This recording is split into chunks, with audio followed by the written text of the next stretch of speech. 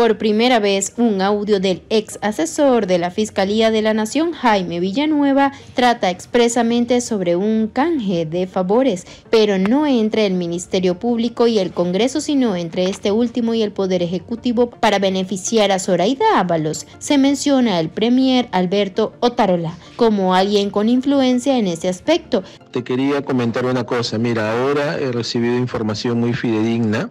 Hay una señora Lenca, que era la jefe de imagen de la lagarta, eh, y hasta ahora sigue trabajando con ella. Esta señora Lenca es coordinadora parlamentaria del MEF y me han dicho que está ofreciendo a la gente del bloque y otras y otros congresistas obras a este a cambio de que le apoyen a la lagarta.